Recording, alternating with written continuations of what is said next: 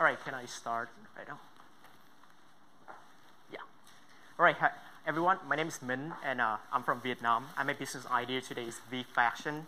Um, so just getting started, let me uh, introduce a little bit about myself. So I was born in a slum, you know, uh, where I witnessed a lot of children getting exploited by their parents. The reason is because their families cannot generate like sufficient income to send the children to school. So they send the children to you know dangerous factories, construction sites to earn money. Um, I myself, when I was a child, I got to work at a very young age, not because my parents make me to do that, but because I mean I got to support my families. Uh, otherwise, we don't have any income to survive. So with all of those experience, when I grow up, I, uh, I want to do something for the children in my home country. So that's why I come up with the idea today, the V Fashion. Um, so let me define the problem, going back to the problem, define it. So we do a secondary research. We base on uh, the World Bank Economic Development in Vietnam and Vietnam Industry Report, Education Report. And we were able to determine that around 1.75 million of Vietnamese children or laborers, they work at least 42 hours per week um, and you can see over here in the picture, a boy is working in a, a, mining field. He doesn't have any protection, no helmet, or you know, no gloves or any protection, no kind of insurance. And we also implement a primary research. So I spent my summer 2016. I do observation of around 85 families. Uh, we do focus group, and we talk to around 280 respondents, the poor families in the, province of Vietnam. And we were able to determine that the minimum wages of people uh, are around $3.8 to $5 per day. And I also contact the local school, and I was able to determine that the school tuition per child per day is going to be uh, $3. So in sum, that if you, uh, if you produce like $4 per day, and the school tuition is $3, so it means that you got to go into the target, like you're going to earn at least like seven, $7 per day in order to send your child to school. So the V-Fashion mission is to fill in that gap, the $3.3 per day, so that at the end those families have the income to send their children to school. So basically, the last summer, 2016, you know, I spend my time, I go into poor rural areas of Vietnam, I sleep with them, you know, I talk to them, eat with them, and I discovered that those people, those families, they possess like a professional knitting skills, but they only use that for family purposes. Like they do that for their husband, their children, but they don't use that for business purposes. And my, my family, we got like 15 years of experience in textile industry. We're building up everything from nothing. So I try to think like, you know, I try to connect, how can I connect my skill with their skill to connect them to customer market to generate income. Um, so basically the solution is that I provide them employment opportunity to producing knitting products. We collect those products and we distribute those products to developed market. We're selling those for premium prices and then at the end, they have sufficient income to send the children to school. So basically, here's the revenue model, very simple. We distribute the materials, number one, to the families. They produce the product in their own house, and then we collect those products, number two. And then we distribute the product to developed market. We're selling them through two channels, the offline channels, department store, and the online channel through our website and on social media platform. So that's basically the revenue model. And I would like to talk about our products. So uh, we partner with a textile company, Hongsun, and we implement a production testing. Uh, we do material testing, we do quality comparison. Basically, we produce a product and we compare like what customer think about that, how much are they willing to pay for that. We have 57 participants in that production testing. The criteria that we use is that like how, how can we achieve the minimum order in developed market? How can we produce like 30,000 to 40,000 pieces per month? Uh, the number of products can we produce like per day, the number of laborers that we need. So that's how we do the production testing. And the result is that we come up with four um, basic type of product, the hat, the gloves, the scarf, and the sweaters. Um, we want to focus on the first three, the hat, the glove, and the scarf, because you know it costs less to produce and uh, less time to produce. And we're going to pay them based on the number, the number of products uh, produced, because we cannot keep track of how many hours they spend in their personal house. And here the picture you can see is actually the two parents. They produce a product. We do uh, production testing. And uh, in order to determine the, the, price, the total cost, and the selling price, we implement a secondary research. We compare the price in industry report in developed market. Uh, we also do the customer research. Basically, we determine how much customer willing to pay for each type of the product. We with the total cost over here and also the selling price over here for every single type of product. So that's how we, uh, that's how we determine the cost and the total price. So in sum, in order to generate $7 per day based on the production capacity and income generated per day, we provide the three following options. Like option one, a person can produce like a pair of gloves, a hat, half of a sweater per day, or a pair of gloves and a scarf per day. Like either of the three following options can come up with a generated income of $7 per day. So that's basically the impact that we create. So let me talk about our customer discovery. So the two methods we use is a focus group. We have like around 7 to 12 participants in the US. And we also implement a survey. We got around 380 respondents in the US um, and around 200 respondents in Vietnam.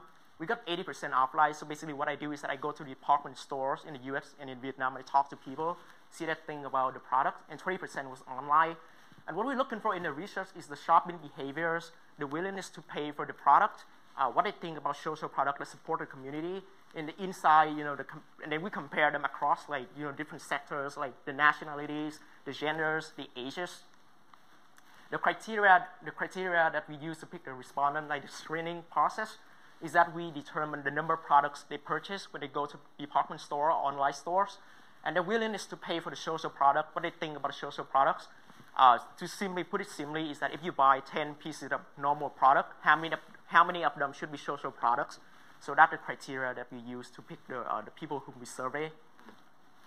And uh, moving, you know, uh, more, the shopping behavior that we determine, um, going to be a lot more variety. But to put it simply, is that we're going to distribute through the online and offline store.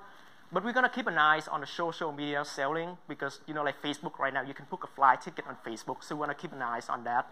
Uh, that's maybe, you know, uh, another distribution channels.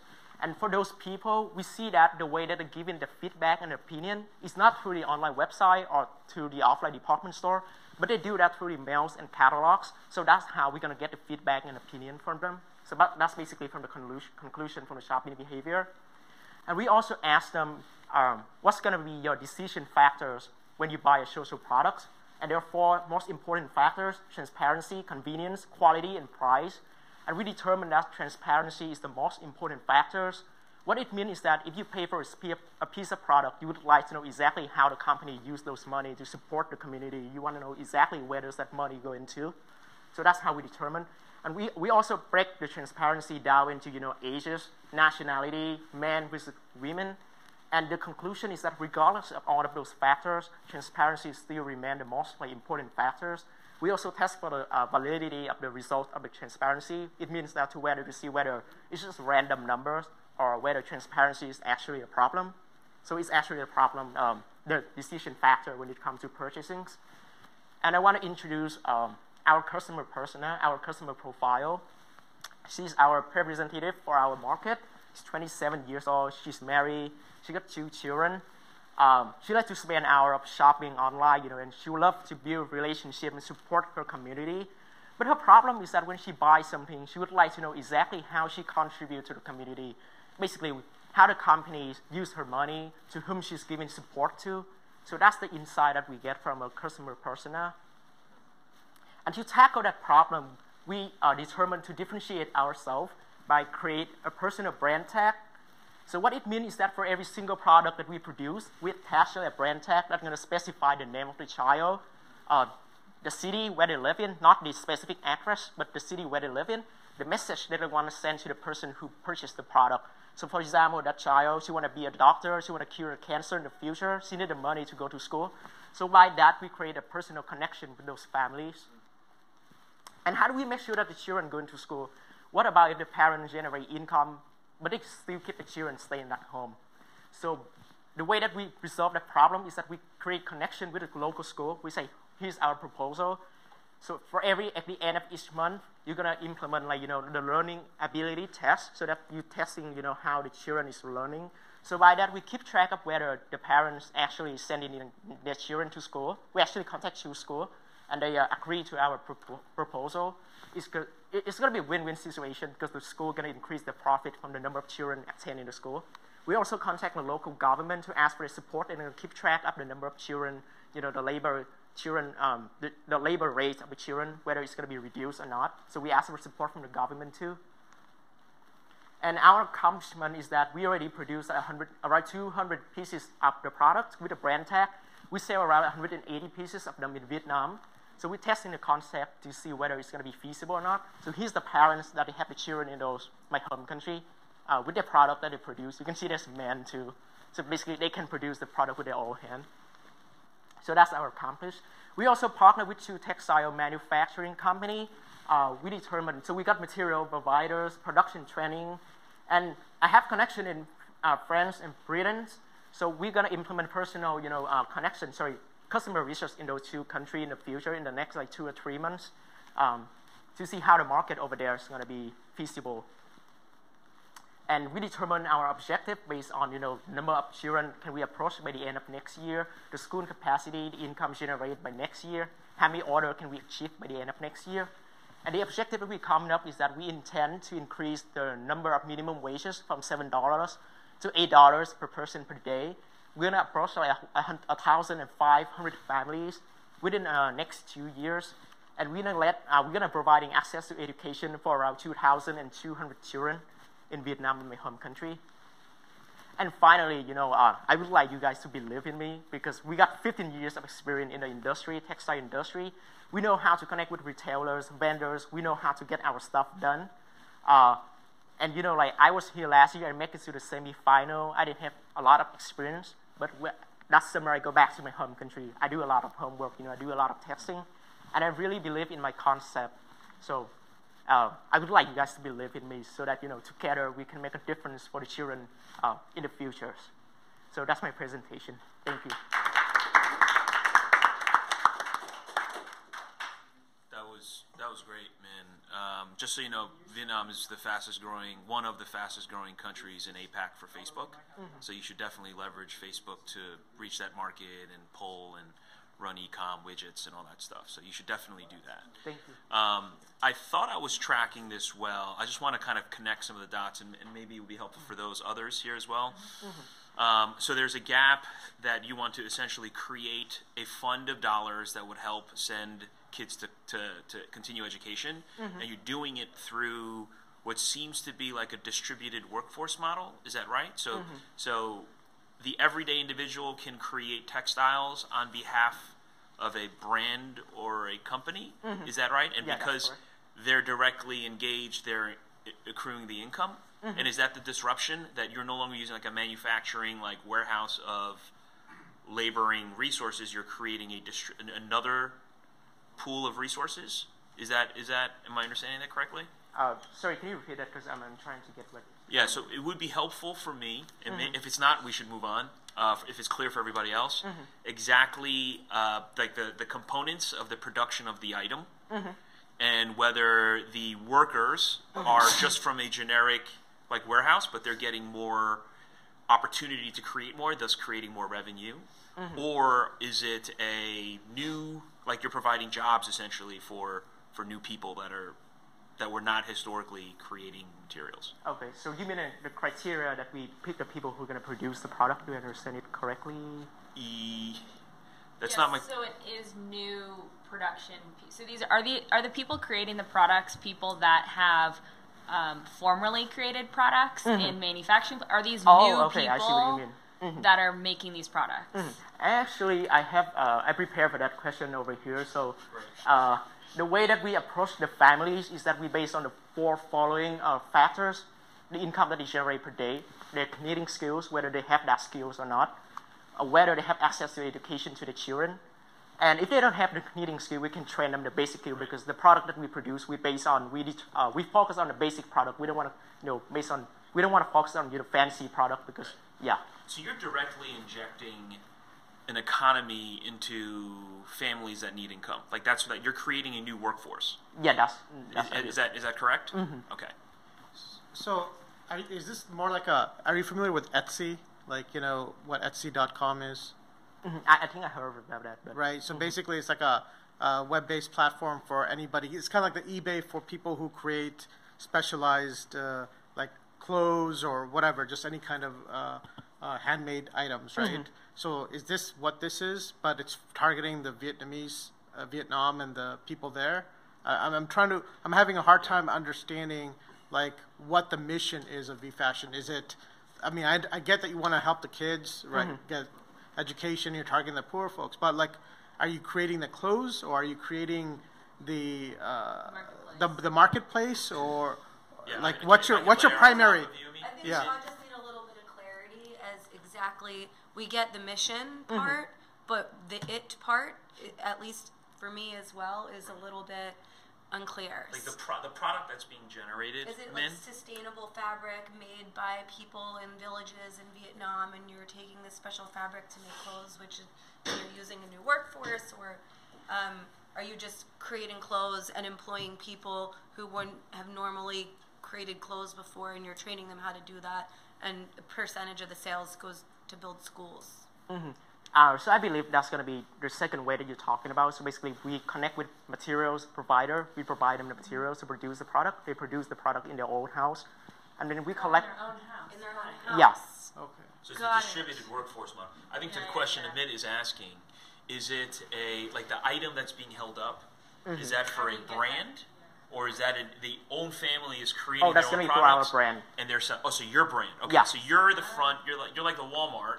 Mm-hmm. The production is happening through these new Household. households that Mm-hmm. need income, um, and you're training them for knitting skills and all that other stuff. So you are the point of sale. Maybe That's someone right. would Okay. I apply think that for was like your a, right?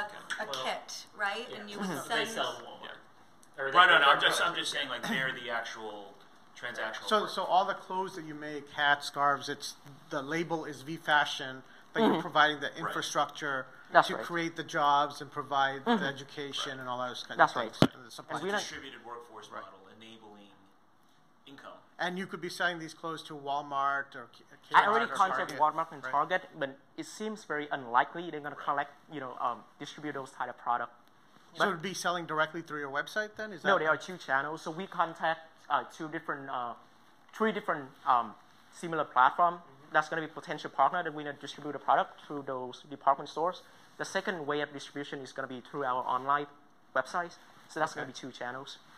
So the question really here is how successful is V clothing or V fashion? Because if V fashion doesn't have, so you've been in business for 15 years. Tell us about the size and scale of V fashion. Um, Because so, that needs to succeed in order for there to be value back to these workers, right? So in terms of scaling, uh, where is that? Uh, Or like, is it a big business? Like, just you guys have been in, like, do you guys sell a lot of inventory? Uh, so let me talk about scaling. Okay. Okay. So uh, for the scaling, you know, I we intend to, you know, we rent like a small manufacturing houses in each of the you know areas that we approach, and in those houses we're gonna place like knitting machines. Man, so I'm that's sorry, I'm going to pause you. I get this answer. okay. The question that I have is all of these new workers are creating products for V Fashion. Yeah, that's If true. V Fashion doesn't sell the products, mm-hmm. these homes will not make the extra income. Mm-hmm. Right? So the question is how successful is V Fashion? And is mm-hmm. it a stable business? Do you guys have annual sales? Do you guys have distribution wholesale partners, et cetera? Just to clarify one thing, I uh, let me see. You said you have 15 years of business experience. This hasn't been going for 15 years, right? V Fashion seems like it's been around, like it's a family business. No, no, that's my family businesses. So Oh, they've like been in that business has for been around. 15 years. Yeah. Oh. Mm-hmm. So they're basically leveraging this the new resource pool as like the warehouse workers to create the materials. So which is tell why us the more question I have this is 15 yeah, of if it's business successful then this is, experience. this is really interesting.